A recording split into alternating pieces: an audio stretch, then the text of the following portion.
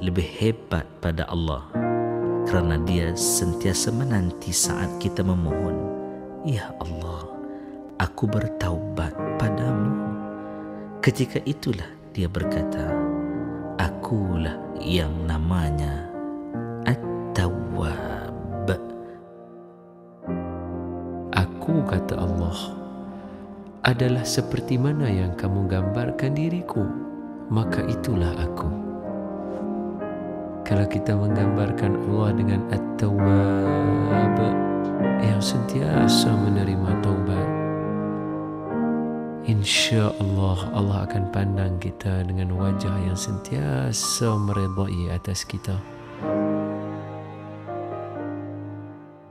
Warna Pagi IKIM Inspirasi Inforia Islami. Baik, Assalamualaikum warahmatullahi wabarakatuh dan selamat pagi untuk anda yang terus saja mendengarkan kami di Radio Institut Kefahaman Islam Malaysia IKIM Inspirasi Inforia Islami. Selamat pagi untuk semua dan seperti yang kita janjikan tadi, jom Kamis pertama hari ini kita uh, pertama untuk bulan Oktober hari ini kita nak mulakan uh, segmen generasi kita bersama dengan perunding Smart Parenting kita iaitu Encik Zaid Ah. Alhamdulillah kalau ikutkan dapat angka giliran tu cabut nombor tu memang Cik Zaid ah. dapat minggu pertama untuk setiap bulan membawakan ataupun uh, memimpin membimbing kita menerusi segmen generasi. Dan hari ini tajuk kita macam kita sebut tadi peranan mm-hmm. 4K seorang bapa. Sebelum kami berdua ni Cik Zaid bagi macam-macam lagi akronim lain. Apa tadi? Kuyus kaya. Ah baik kita serah pada ahlinya dan pakarnya Cik Zaid Muhammad. Assalamualaikum. Assalamualaikum Cik Zaid Waalaikumsalam warahmatullahi wabarakatuh. Sorry hari ini ada masalah. Eh, tak ada masalah insya-Allah. Terima ucap terima kasih juga sahabat-sahabat kita yang uh, sabar menanti untuk uh, dengar dan juga menonton perkongsian kita pagi ini dekat uh, Facebook dan juga YouTube dan juga di radio Cik Zaid. Cik Zaid sihat semuanya alhamdulillah. Alhamdulillah. Semua. Alhamdulillah. Uh, jadinya apa ni uh, uh, topik kita hari ini uh, uh, apa ni berkenaan bapa lah eh. Fokus kepada ya. bapa. Okay. Alhamdulillah sihat. Semua DJ uh, semua sihat. Hmm. Baik, Alhamdulillah. Alhamdulillah. Itulah ramai yang tertanya-tanya ni macam Cik Zaid nak bawa kita orang pergi kedai elektrik pula hari ni cari TV 4K. TV kenapa agaknya? Ha, ha, kenapa tajuk ni dipilih dan kenapa 4K itu menjadi tumpuan? Ya, silakan Cik Zaid. Terima kasih Pian Azwan dan kepada uh, salam sejahtera. Assalamualaikum warahmatullahi taala wabarakatuh. Ada semua yang kita pada pagi inilah. Um, okay, memang betul. 4K ni kalau modern term ya, uh, terma baru dia antara terma terkini lah um, tentang kecanggihan teknologi. Uh, uh, kalau TV 4K tu mahal sikit lah sebab ha. gambar dia jelas, suara yeah. dia pun clear kan, uh, sharp. Um, jadi kita nak tak nak kita sebagai bapa, sebagai ibu pun, ibu dan bapa, kita pun juga kena mengikut arus perkembangan teknologi lah. Bukan saya nak kata lepas ni ganti bapa dengan robot 4K ke bukan. Oh, jangan. Uh-uh. Tetapi lebih kepada kita sebagai kita boleh meningkatkan peranan kita uh, untuk menjadi lebih berkesan kepada uh-huh. anak-anak eh, kepada anak-anak. Dan 4K tu kalau saya boleh sebut secara lintas uh-huh. lalu dulu lepas tu uh-huh. kita fokus satu-satu Uh, dia dalam banyak-banyak peranan bapa ni saya bukan kata empat ni saja tetapi ini bagi saya empat yang paling terpenting lah kot eh. Uh, pertama okay. sekali itu kawal keluarga, kawal keluarga. Kawal. Uh, kawal. Uh, macam security guard kan. Uh, tu kita tugas kita mengawal keluarga tapi malangnya ada ayah-ayah pula yang merosakkan keluarga dia. Jadi dia tidak memainkan peranan di situlah. Okay, kawal. Yang kedua, dia captain kepada keluarga dia. Captain. Ya, captain ni tugas dia nanti kita hurailah detail eh. Uh-huh. Tapi secara ringkasnya dia menjadi penstabil kepada keluarga dia lah. Tunjang kestabilan keluarga dia, captain. Uh, yang ketiga, dia dia juga adalah konsultan kepada anak-anak dia. Uh, di zaman moden ni, anak-anak perlukan pusat rujukan yang betul, tempat rujukan yang betul, bukannya di luar sana, bukannya dalam uh-huh. internet tetapi ibu dan ayah terutama ayah lah jadilah konsultan kepada anak-anak dan yang yang keempat ha, ini pun penting juga terutama bila anak meningkat remaja jadi kawan kepada kawan. anak-anak kita ha, jadi itulah 4K yang saya masukkan diharapkan para penonton yang ya. uh, tadi hidup berteka-teki benda Pak K dah dapat gambaran uh, iaitu betul. kawan, uh, uh, uh, Captain. Kosong dan kawan. Kawan. Ah, ah. Dan kawan. Ah, macam mana adakah kita boleh capai keempat-empat ini sekaligus Mm-mm. ataupun mungkin satu persatu itu juga akan dibentangkan dijelaskan satu persatu oleh Encik Zaid. Cuma biasa kalau kita sebut uh, TV lah contoh eh. TV Hmm, 4K ni uh, kalau biasa kita dengar full HD uh, Ah. 1080 Ah, itu yang mungkin Ya. kebanyakan kat rumah adalah resolusi TV itulah nampaklah terang juga. Dah Ya. bila ada 4K resolusi 4K ni dia lebih dipanggil ultra HD ultra high Mm-mm. definition uh, Cik Zaid kan? Maknanya jelas terang nampak kurus kembang segala bagai tu. Cuma mungkin ini uh, sesuai dikaitkan dengan zaman sekarang Cik Zaid sekarang ni semuanya serba canggih, serba laju, serba cepat dan kena kita pun kena uh, ikut perkembangan semasa. Jadi mungkin Cik Zaid macam mana kelebihan ataupun kenapa 4K ni Cik Zaid pilih untuk jadi peranan ataupun uh, kualiti seorang bapa? Bapa Mm-mm. pula tu, bukan mak. Betul betul. Okey. Jadi uh, kita betul saya sebenarnya pun 4K idea ni pun datang daripada teknologi itulah. Bila saya tengok kenapa teknologi eh sentiasa kena kena berubah, sentiasa kena uh, dinaikkan kualiti dia eh. Uh, tak lain tak bukan kerana pertama sekali kita mampu kita mampu mencapai teknologi yang tinggi. Uh, yang kedua uh, bil- kita dah terbiasa dengan benda lama. Jadi benda teknologi lama tu macam dah tak menarik walaupun masih dia mula-mula keluar dulu semua orang berebut nak beli kan saya rasa Ha. 4K pun uh, setakat berapa tahun lagi keluar lagi yang baru pula Dah ada dah. Ah, 8K. 8K. Ah, 8K dah ada Cik Zaid. Ah. Tembus celuh hitam mana tak tahu. tak tahu juga macam mana keluar terus kot orang ni macam tu lah eh. jadi maksud dia macam tu lah maknanya manusia ni tak akan puas Hmm. dengan uh, keadaan semasa mereka sentiasa ingin yang terbaik dan itu tak salah tak jadi masalah uh, yang menjadi masalahnya apabila hanya satu pihak yang nak yang terbaik contohnya anak-anak kita makin Ah. lama makin demanding uh, makin memerlukan uh, panduan dari kita uh, dengan keadaan sekeliling yang banyak berubah tetapi uh, jika uh, saya pilih bapa ni pertama sekali sebab saya bapa lah uh, dan yang Mhm. kedua saya tengok bapa ni um, Mhm. peranan dia lain daripada ibu. Ibu dia lebih kepada pengurusan, menguruskan harian kan uh, dengan anak-anak, sentiasa rapat dengan anak-anak. Penting, itu sangat penting. Tetapi bapa dia lebih kepada um, uh, yang 4K ni lah tadi macam kawal kan, Ah, kawalan kawal. keluarga, kawalan keselamatan bukan dari segi fizikal semata-mata. Tetapi dari segi contohnya apabila ada internet, apabila ada um, um, uh, Gadget. informasi uh, yang mudah dikongsi, tak, tak ada tapisan. Uh, ketika itulah kawalan uh, sangat diperlukan oleh bapa.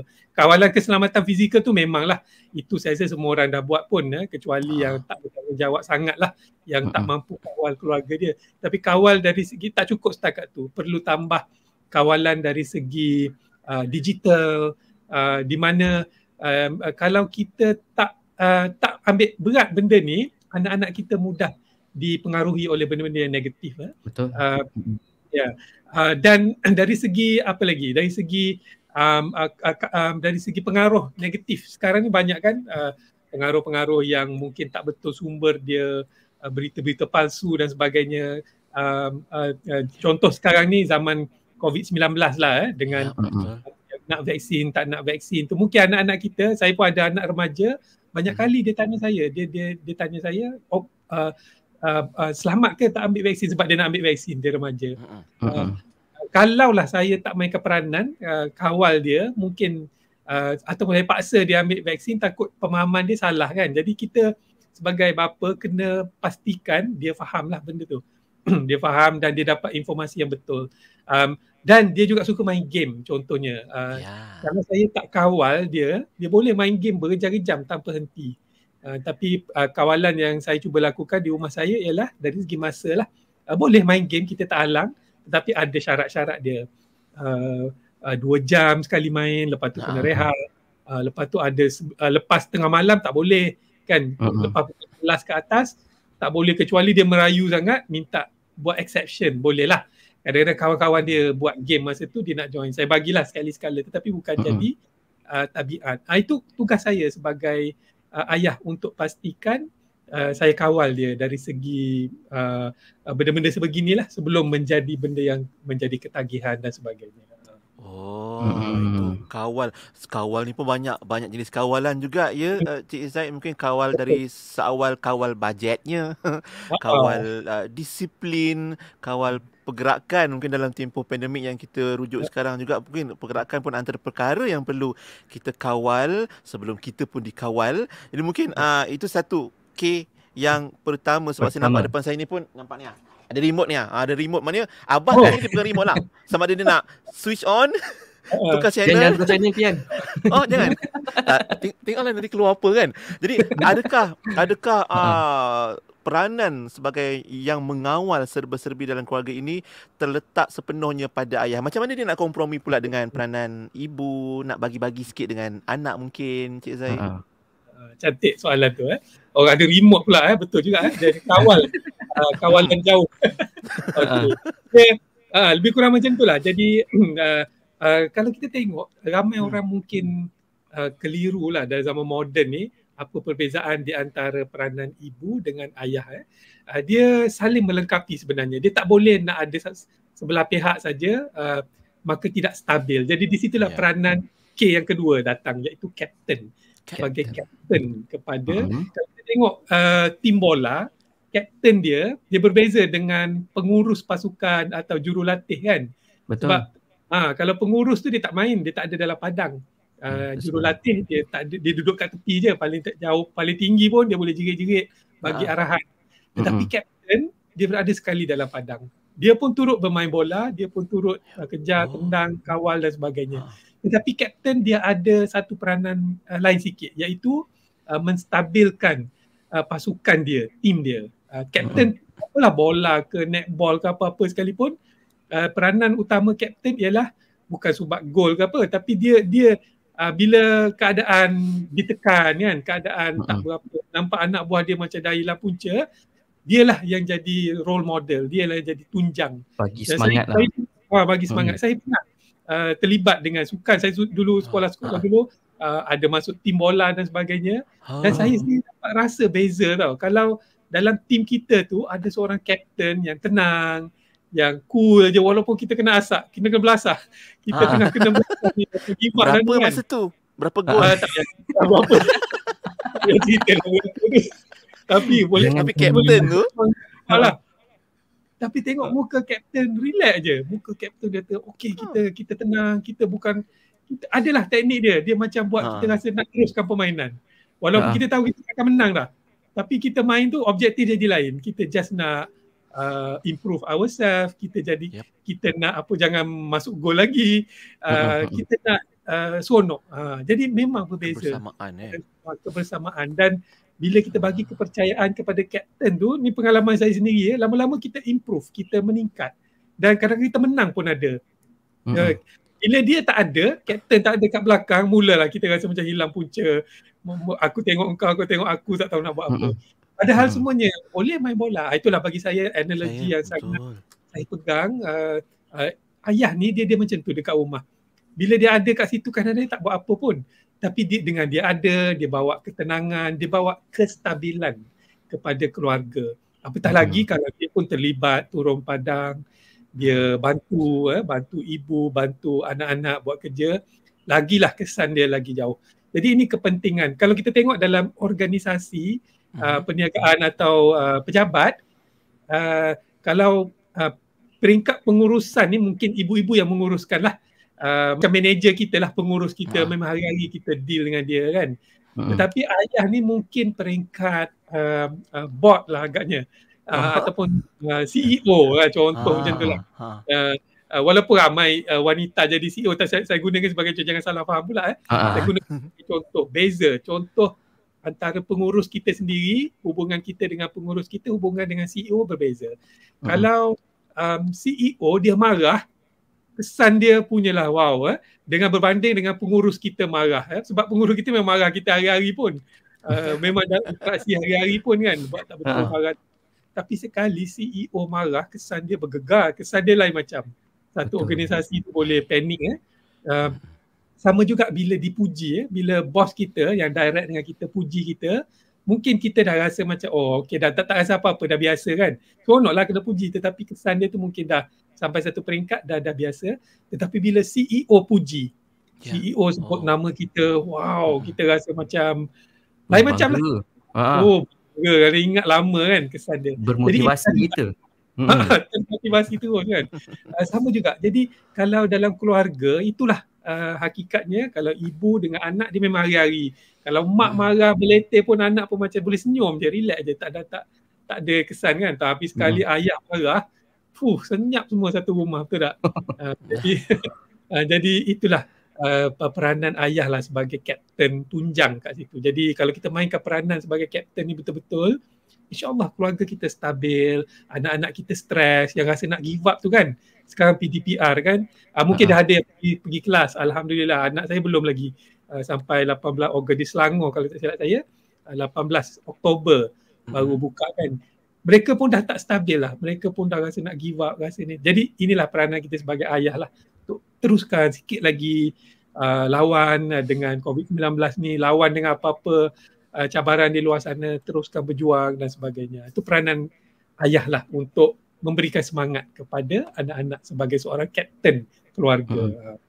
Ya. Oh, okey. Terima kasih Cik Zaid. Menarik bila Cik Zaid gambarkan dan bayangkan tadi tentang kapten ni dia pun turun padang sama. Maknanya dia susah payah jugalah dalam gelanggang atau padang tu bersama satu pasukannya dan yang penting dia dihormati sebab kaptennya tu walaupun semua orang boleh buat benda yang sama, semua orang pandai main bola contohnya tapi bila ada kapten uh-huh. kita hormati dia. Okey, itu 2K yang baru kita kongsikan pagi ni. Tak boleh jadi TV lagi ni 2K, dia 4K kan? Kejap lagi kita sambung untuk pusingan kedua. Uh, Coach Zaid Muhammad bersama kita.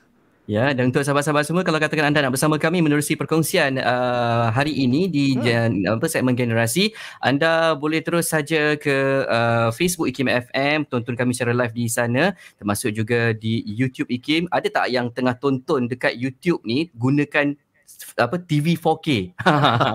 ha, kalau ada anda boleh kongsikan juga bersama dengan kami. Sampai-sampai itu kalau ada ah. soalan-soalan yang berkaitan tentang topik kita hari ini peranan 4K ataupun 4K uh, seorang bapa, anda boleh kongsikannya bersama dengan kami. InsyaAllah penjelasannya Insya bakal dibawakan oleh Encik Zaid Muhammad ya. Ha, jumpa pusingan kedua sebentar lagi di Warna Pagi Radio IKIM 20 tahun. Inspirasi Inforia Islami. Oh.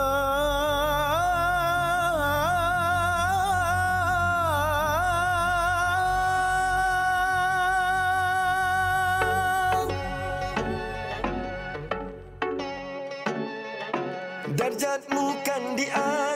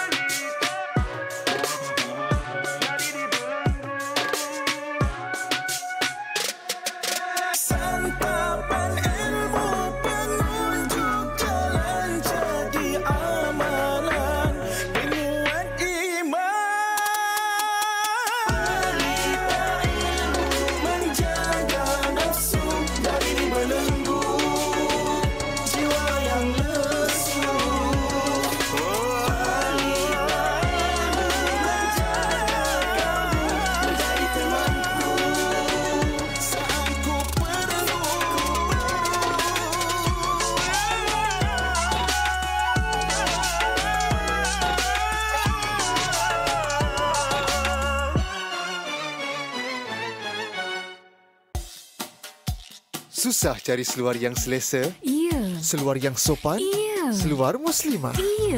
Cacas jual seluar Banyak saiz dan gaya C-A-C-A-S Cacas Pilihan nombor satu Malaysia Jom tengok FB atau IG Cacas. C-A-C-A apostrophe S. Website cacas.com.my. Butik-butik Cacas, dropship Cacas atau 013-795-5874. 013-795-5874. PIDM Automatic to kita Tak perlu memohon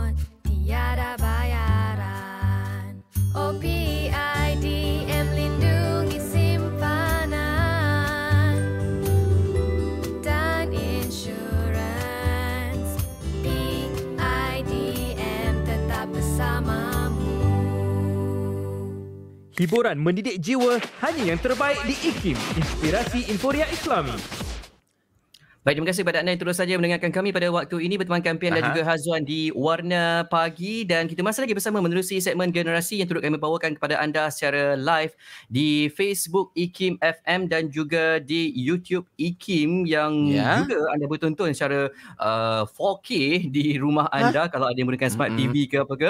Uh, yang Ha. penting pagi ini topik kita berkaitan tentang peranan 4K seorang bapa. Masih lagi bersama kita perunding Smart Parenting iaitu Encik ataupun Coach Zaid Muhammad pagi ini ya. Alhamdulillah, terima kasih Cik Zaid sedia menanti dan juga kita nak sambung kan second round kita. Sebelum tu Aha. Cik Azhar, Cik Mat kongsi. Kita ada 4K, dia kongsi 4G. Ha betul juga eh. Oh. Sekarang ada 4G, nak naik Ah. pula jadi 5G, 5G, teknologi telekomunikasi kita memang makin laju, makin canggih Cik Zaid. Jadi memanglah kita kena ada uh, kualiti-kualiti tersebut khususnya eh Cik Zaid, Okey. Cik Zaid merajuk ah, ke saya sebut 4G? Jangan Cik Zaid, jangan jangan. tak ada. Ha, ada tu insyaAllah kejap lagi. Dan uh, macam kita sebut tadi, bila makin Ha. canggih, makin laju zaman sekarang ni, jadi perlunya kualiti-kualiti tersebut dikuasai khususnya oleh uh, golongan ayah atau bapa yang pastinya menjadi kapten dan Mhm. juga mengawal keluarga supaya sentiasa tenang dan bahagia walaupun apa saja yang dihadapinya. Kan Cik Zaid kan? Ya Betul Cik betul. Zaid. Ya. Jom kita sambung yang ketiga. Saya tadi terputus sekejap maaf. Oh tak apa, okey. Ah tak apa tak apa. Alright. Um, bo- boleh ulang soalan tadi saya masih Ah. yang baca soalan tu dia drop sekejap lain. Oh, Ha. tak ada apa. Sam- kita kita sambung yang ketiga. Ah, okey, boleh. kita goreng tadi Cik Zaid. Kita orang tolong Boleh. goreng. 4G lah pula eh. Daripada Ah. orang Ah. 4G. Eh, bagus lah. Uh, ini contoh ayah yang bagus ni. Uh, yang yang uh, peka dengan teknologi dan sentiasa Setuju. ingin uh, meningkatkan diri dia lah. Eh. Uh, sama macam Ah. perangai Captain jadilah aku agaknya mengambil tindakan jadi leader kepada pasukan dia. Uh, okay. Jadi dalam masa terhad ni elok kalau kalau kita sambunglah juga uh, yang ada dua lagi peranan eh. Uh, iaitu Okey. uh, lagi pentinglah peranan yang seterusnya iaitu sebagai konsultan. Uh, ibu Oh. ayah eh, terutama ayah lah. Ayah jadi konsultan kepada anak-anak. Um, lebih kurang pernah kita buat topik menjadi jurulatih kepada anak-anak. Yep. Lebih kurang gitulah. Uh, tetapi ini uh, konsultan ni dia lebih kepada uh, membantu anak-anak di zaman moden ni sebab anak-anak dia perlukan uh, tempat rujukan. Uh, kan macam saya sebut tadi, um, saya bimbang kalau kita tak menjadi rujukan anak-anak, saya takut anak-anak akan cari tempat rujukan yang lain. Um, Oh. Ini biasa berlaku terutama dalam topik-topik yang agak uh, agak segan nak bi- bicara dengan keluarga contoh topik seksual dan sebagainya kan. Um, jadi uh, uh, untuk kita sebagai seorang konsultan, pertama sekali kita kena iklankan tugas kita tu kepada anak-anak. Uh, macam saya in real life pun saya konsultan, coach. Tapi Ah. kalau saya iklankan diri saya, orang tak tahu kan. Jadi Ya. uh, masyarakat tak tahu. Jadi sebagai uh, ayah, pertama sekali kita iklankan diri kita uh, bahawa kita sentiasa terbuka untuk uh, dah jadi tempat rujukan. Datanglah bila-bila masa sekalipun bila anak-anak ada soalan, uh, malah uh, pasangan kita pun kalau ada pertanyaan apa sila rujuk dengan kita, kita sentiasa open. Untuk Hmm. keluarga kita kita open 24/7 lah. Uh, 24 jam, 7 hari seminggu memang tak tutup kan. Kalau dengan klien lain mungkin kita ada masa-masa tertentu kan. Nah, tapi dengan keluarga terus tak ada sampai mati kan. Sampai Aha. daripada hidup sampai mati. Maknanya uh, konsult servis kita sentiasa terbuka. Uh, dan saya banyak bagi contoh lah katalah uh, baru-baru ni anak saya uh, uh, ingin um, uh, ber, uh, dia, dia dapat pekerjaan dia tanya kita um, okey tak kerja ni macam mana dia nak jaga duit dia uh, jadi kita ambil peluang tu bila anak-anak bertanya kita ceritalah uh, sebab kadang-kadang kalau kita cerita tanpa dia tanya dia mungkin reject dia mungkin tak nak dengar kan Hmm, Ah, betul. Uh, dan tapi malangnya ada setengah uh, bapa bila anak tanya ke apa dia tak suka. Dia macam rasa serabut, dia rasa macam apa kita tanya mak, mak lah. Uh, bagi saya rugilah itu rugi peluang untuk kita Peluang. jadi uh, Mm-mm. konsultan kepada anak-anak. Uh, dan kita boleh masa tu masa itulah kita boleh uh, ber- berkongsi pengalaman mas, macam mana kita uruskan kewangan contohnya kan. Uh-uh. uh, kita bila ada masalah tempat kerja macam mana kita handle. Uh, ketika itulah sebab anak-anak sedang ingin mendapatkan panduan masa tu. Um, dengar bagi panduan uh, tapi kalau boleh jangan bagi jawapan. Um, kalau boleh kita minta or, uh, anak tu olah sendiri jawapan dia. Uh, kalau cara saya lah mungkin orang lain cara dia berbeza. Kalau Mhm. cara saya, saya tanya, eh, lepas kita ber- berkongsi lepas kita uh, um, um, apa ni? Tunjuk sikit sebanyak kita akan tanya dia balik. Jadi kakak rasa macam mana nak buat benda ni? Kita tanya soalan macam tu. Kita throw balik soalan tu kat dia supaya dia berfikir. Um, ini sebenarnya menjadi konsultan ni satu-satu sikap uh, atau peranan yang penting untuk melatih anak-anak kita um, uh, dua benda, skill, dua skill, berfikiran Hmm. kritikal secara kritikal dan juga kreatif. Uh, bila bila kita tanya balik, kita cabar jawapan dia, kita back and forth lah, kita banyak uh, runding dengan dia, uh, dia akan timbul satu kebolehan berfikiran secara kritikal. Uh, Mhm. baru-baru ni saya baca satu uh, kajian oleh uh, sebuah universiti di Australia. Dia kata um, uh, ibu bapa lah dia fokus pada semua tapi kita ambil zoom Aha. kepada ibu bapa. Dia kata ibu bapa kalau tidak melatih anak-anak untuk berfikiran secara kritikal iaitu sebagai konsultan ni uh, anak-anak akan menerima saja apa benda maklumat di luar sana tanpa berfikir. Dan inilah sebab ramai orang terpengaruh dengan berita palsu, terpengaruh dengan teori konspirasi. Um, uh, sekarang kita zaman vaksin kan, ada yang Ah. kata uh, macam-macam pendapat tentang vaksin, Maklumat, uh, maklumat maklumat salah tentang vaksin. Hmm. Dia, dia, dia jadi ikut emosi. kan. Uh, uh, dia ikut emosi, dia ikut orang yang orang yang dia rasa boleh jadi bahan rujukan. Uh, Mm-mm. malangnya orang tersebut mungkin ada niat jahat, mungkin dia sendiri pun tak betul. Motif, motif. Uh, motif dia pun tak betul. Jadi Kan? uh, sebab tu saya rasa peranan sebagai konsultan bapa ni sangat penting lah di zaman informasi ni, di zaman ICT ni supaya kita kita boleh menjadi penapis kepada maklumat yang sampai kepada anak-anak tu pertama betul. Uh, Mhm. yang kedua sambil tu kita boleh melatih dia juga untuk berfikir sendiri. Sebab kita pun tak mampu untuk uh, berada bersama dia sepanjang masa terutama bila dia ada jadi Betul. dewasa kan.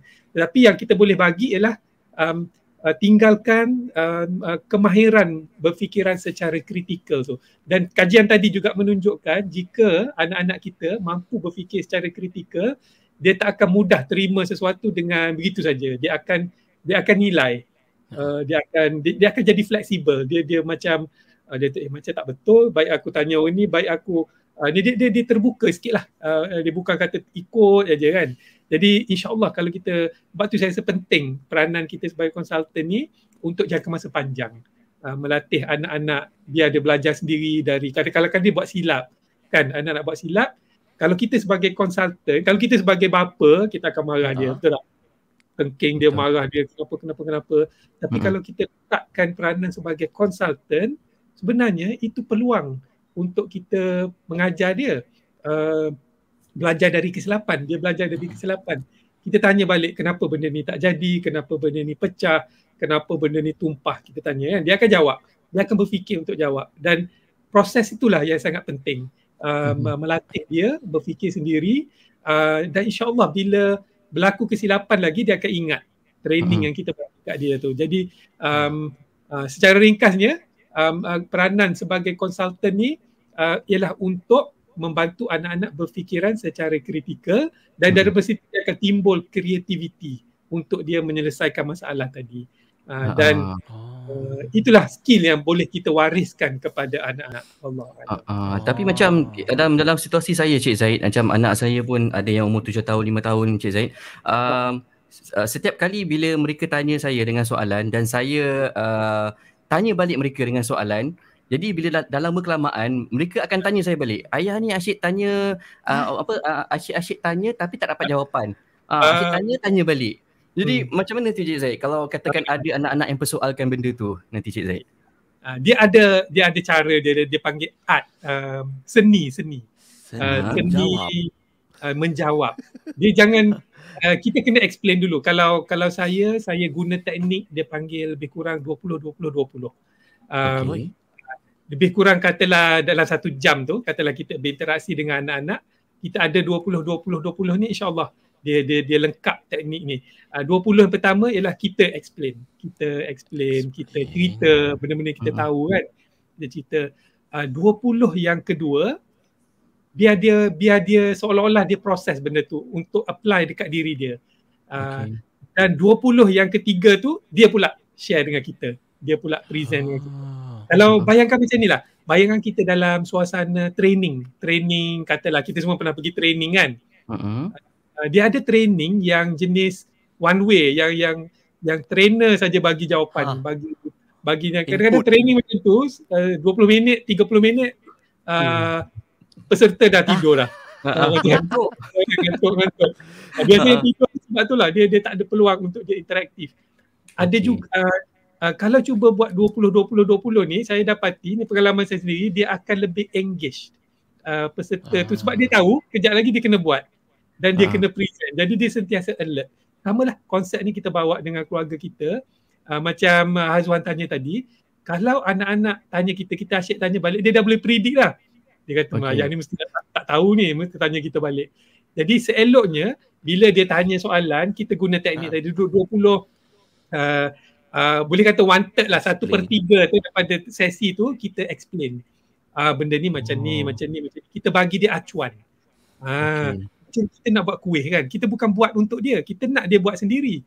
Tetapi kita kena bagi peralatan, kita kena bagi acuan. Ah, ini dia acuan dia. Ah, kalau situasi macam ni, kita buat macam ni, ni, ni, ni, ni. Lepas tu kita bagi kat dia, ah, abang, abang dah ada acuan. Macam mana abang nak apply benda ni dalam uh, masalah tadi? Macam mana kakak nak apply benda ni? Dia akan ni lah. Oh, kalau macam tu abang kena buat macam ni lah, macam ni, macam ni. Lepas tu, ah, okay, tanya lagi, tanya lagi. Dan Masuk peringkat yang ketiga tadi biar dia ceritakan penyelesaian dia Share. kepada kita. Ha, share seolah-olah dia Hmm. present penyelesaian dia. Kalau kita boleh ambil Oh. contoh macam mana eh. Ah. Uh, uh, contoh dia katalah uh, mungkin Azwan ada specific incident kita boleh cuba guna teknik ni untuk apply. Hmm. Ya, ya uh, ada tak latest? Ada contoh? Contohnya Contoh. macam kalau dia tanyalah tentang soalan uh, apa kenapa orang dekat contohlah eh kenapa Ha. uh, orang dekat TV ni kita nampak je kenapa kita tak boleh masuk TV ataupun orang tu tak boleh keluar dari TV. Ah, Ah, sebab dia nampak abah dia kat TV lah tu. itulah. Okey. Uh, uh, kalau macam tu jangan tanya Ah. dia balik. Nampak benar kita tak tahu kan. Ha. ha. Kita cuba olah lah. Kita kata okey selain pada kita kita kita bagi ambil 20 yang pertama tadi. Ha. 20 minit uh, tak perlu sampai satu jam pun tapi saya bagi contoh je lah. 20 20 20 Wanted lah. uh, one third lah. Kita ambil one third Satu pertama ketiga. kita, kita explain. Dia, kita kata dalam uh, proses komunikasi ni contohnya ada banyak teknik eh ada secara berdepan ada secara online ada secara dalam TV eh. Uh, dan uh, kalau kita tengok uh, teknologi zaman sekarang uh, uh, kita apa tak perlu berada berdepan uh, mengguna kita boleh gunakan medium uh, television untuk Mhm. berjumpa kan Nah, kita ceritalah Mhm. uh, te- teknologi dan sebagainya lepas tu uh, 20 yang kedua kita Proses. second one third yang kedua tu kita Ha. tanya dia okey jadi based on uh, yang ayah cerita tadi kakak faham macam mana kakak Ha. faham macam mana television ni uh, gambar dia ada kamera lepas tu ada signal dia hantar cuba Wah. kakak uh, applykan dalam betul katalah katalah dia tengok uh, uh, ada satu cerita kat situ kan suruh dia Ha, explain macam mana benda ni boleh berlaku Ha, Ah, macam mana on Doraemon masuk TV? ah macam mana Doraemon dia akan cuba oh dia ada Ha. dulu ada cameraman ambil gambar dia lepas tu gambar dia proses hantar dekat Ha, ha. studio uh, sebelum tu kita Perlu cerita benda cerita, tu eh? Perlu cerita Ah, ah, juga Cik Zain eh. Ha, kita ha. cerita. Sebagai konsultan kita kena ceritalah. Uh, lepas tu baru kita tanya dia uh, macam ni benda ni berlaku. Lepas tu bila dia agak-agak dia faham uh, yang satu per tiga yang terakhir tadi okey sekarang kakak abang cerita ke ayah pula. Uh, bagi dia senario pula. Mungkin bagi dia satu senario lain Mhm. uh, mungkin Hazwan lah tengah baca berita contohnya. Mhm. Dia agak mana dia orang buat uh, ayah tengah baca berita tu apa proses yang berlaku uh, nampak tak ha. dia kan cerita lah dia kata oh mungkin ada cameraman kat situ ada ni ada sana uh, kalau kita rasa betul kita peluklah dia kita bagilah tahniah terbaiklah Oh, kakak tanya. terbaiklah abang tak faham peluk peluk peluk puji dia kan Mhm. kalau salah kita betulkan sikit lagi sampai dia dapat betul. Uh, ini maksud saya sebagai konsultan. Ini uh, tugas kita uh, mengajar dalam bentuk yang dia suka. Mengajar dalam bentuk yang dia faham. Dia seronok lah bukan kita kata macam kita one way saja kan. Kan. Mhm. Ah, macam tu. bukan Saya 20 20 20 tu aku punya. tak ah, boleh. kan kita seorang Jangan shock sendirilah. kan? Kan.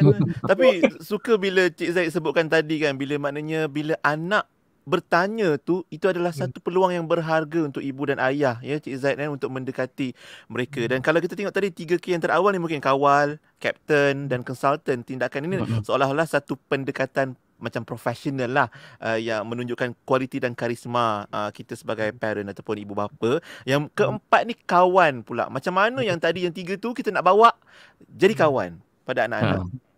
Okey, dalam masa yang ringkas ni saya Ha. uh, cerita yang keempat pula lah. eh. Uh, lepas kita buat semua betul, kita sebenarnya nak seimbangkan di antara kita sebagai uh, sebagai bapa eh uh, kita fokus kepada bapa lah. Um, uh, dalam masa kita serius, kita tak boleh serius all the time. Kita tak boleh tegas sepanjang masa. Betul. Kadang-kadang ada situasi yang memerlukan kita jadi kawan kepada anak-anak. Uh, dan secara amnya kalau boleh kita berkawan lah dengan anak-anak terutama di peringkat anak-anak masuk uh, tujuh tahun yang kedua eh. uh, tujuh tahun tujuh hingga 14 uh, uh, dan seterusnya remaja lah besar Hmm. ringkasnya uh, dia sangat memerlukan uh, bapa yang rapat dengan dia kawan. Dan kalau kita tengok uh, ciri-ciri kawan yang baik tu apa? Um, adalah beberapa yang kalau boleh kita ringkaskan. Pertama sekali kawan tu dia dia tidak menghukum. Kawan yang baik uh, Mhm. dia mendengar dengan dengan ikhlas. Dia bukan cepat nak menghukum kita, uh, bukan nak kata ah, itulah kau um, aku dah cakap uh, kawan macam tu sekali je lah kan kita Ah. pun uh, malas lah nak cerita kat dia kan. Uh, yang Ya. jenis BFF ni kan, dia dia dia dia, dia support kita kan. Dia Ha. tidak menghukum kita sebagai tak betul lah sebagai dan sebagainya. Uh, yang kedua kawan yang baik ni BFF ni dia ada empathy. Dia boleh letak diri dia dalam situasi kita. Um, uh, dia kata betul lah kalau kalau aku jadi kau pun hmm, aku pun akan buat benda sama. Jadi kita sebagai bapa kita boleh letak diri kita dan tempat anak kita. Betul lah dulu ayah pun macam tu juga uh, kan macam tu. Um, di, di, di zaman sekarang ni saya tengok ramai ibu bapa dia meletakkan diri dia tu macam sempurna. Dia macamlah dia tak pernah buat silap. Mhm. Uh, jadi bila anak-anak buat silap dia cepat menghukum. Uh, sedangkan um, kita sendiri pun banyak silap tapi tak perlulah kita cerita kesilapan kita zaman anak-anak tapi kita setakat empati cukup. Maknanya kita faham kenapa anak buat silap, kenapa anak tu, kenapa anak ni. Sebab kita pun pernah alami zaman tu, betul tak? Jadi Betul. janganlah kita ma- nak nak berada di tempat yang mulia sangat, tinggi sangat sehingga kita tak mampu nak turun ke level mereka. Itulah maksud saya sebagai kawan. Um, ini pengalaman saya sendiri macam uh, saya masa masa saya sedang membesar dulu, uh, saya ada seorang jiran eh, yang sangat um, sangat tegas dengan anak dia. Uh, sehingga anak dia tak boleh buat silap langsung. Dan malangnya anak dia tu kawan saya. Jadi saya tahu perasaan mereka. Jadi anak-anak tersebut meluahkan perasaan dengan saya sebagai kawan. Macam-macam dia cerita. Jadi saya jadi jadi jadi kawan kepada dia, saya dengarlah uh, rupa-rupanya uh, mereka tak happy, mereka tak gembira duduk rumah tu, dia rasa tertekan. Uh, dan uh, bila anak tu meningkat dewasa, dah dah dia mula berani buat benda-benda yang tak betul, terlibat dengan kawan-kawan yang tak baik, ada yang terlibat dengan dadah dan sebagainya. Jadi Mhm. saya tengok saya kesian. Saya tengok ayah dia seorang yang baik, seorang yang uh, uh, ber, beragama dan sebagainya. Niat dia baik, niat dia baik tapi cara dia tak betul. Cara dia um, dan bila saya bercerita dengan ibu bapa saya, rupa-rupanya ayah dia tu pun masa muda-muda dulu pun taklah hebat mana Hmm. sangat. Uh, Ada dia pun sejarah. banyak buat salah. Uh, sejarah Ah. dia tak adalah bagus sangat. Uh, dan saya pun terfikir, saya kata wow kalau macam ni tak adil lah kepada anak-anak sebab um, ayah dia pernah mengalami, pernah buat benda-benda tak betul tetapi Allah tarik dia insaf uh, berhijrah ke jalan yang betul tetapi sekarang dia nak anak-anak dia terus jadi macam dia. Saya rasa tidak adil lah kepada anak-anak supaya sebab anak-anak akan rasa tertekan. Uh, sepatutnya, sepatutnya kalau ayah tadi sebagai kawan, dia peran sebagai kawan, dia akan faham kenapa anak dia suka berkawan dengan orang ni, suka berkawan dengan budak nakal contohnya. Dia faham, dia kata kita dulu ayah pun pernah berkawan dengan budak nakal tapi nasib Hmm. baiklah uh, ayah sempat uh, apa kembali ke pangkal jalan uh, bertaubat. Uh, yang kawan dia suka berterus terang. Dia dia terus terang uh, pada masa yang sama Betul. dia jaga aib. Dia jaga aib diri dia, dia jaga aib anak-anak dia, kawan dia. Um, um, uh, begitulah.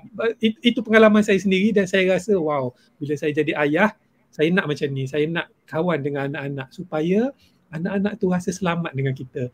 Anak-anak rasa boleh berterus terang dengan kita. Um, kita tidak cepat menghukum mereka sebab kita pun bukan baik sangat. Ha, ini ini pesanan kepada saya sendiri, pesanan Ah. kepada ayah-ayah di luar Kita lah, sana kan. kita. Mm-mm. Ha, uh, tapi tidak bermakna kita tak boleh membetulkan orang lain tetapi ada cara dia. Jangan kita cepat Oh. uh, uh, rasa kita ni bagus sangat. Bila anak buat Kan. silap pun kita pandang macam pandang pandang hina gitu macam Mm-mm. uh, apalah kau ni macam tu kan. Lah, label Hmm. terus. Uh, itu Jadi- saya rasa halang. Hmm. Jadi Cik Zaid, mak- maknanya kalau macam contoh kita baca atau kita jumpa tips-tips menjadi sahabat yang baik, maknanya seorang ayah boleh implement atau apply tips-tips sahabat yang baik tu kepada anak-anaknya di rumah tanpa kita tinggalkan 3K yang awal tadilah. Ya betul. Uh, ini ah betul saya setuju. Oh. Uh, kalau Ah. kita baca aja katalah kita terbaca atau terdengar tips Nah. dalam internet ke apa kan, Hmm. kita letakkan dalam konteks uh, parenting, kita letakkan dalam konteks bapa lah atau ibu lah. Boleh kita apply benda tu nak tak ada masalah. bersahabat dengan anak-anak. Malah saya teringat satu hadis Rasulullah SAW Salam. uh, uh, yang baginda berkata kalau kita, kita uh, kawan tu adalah cerminan diri kita kan.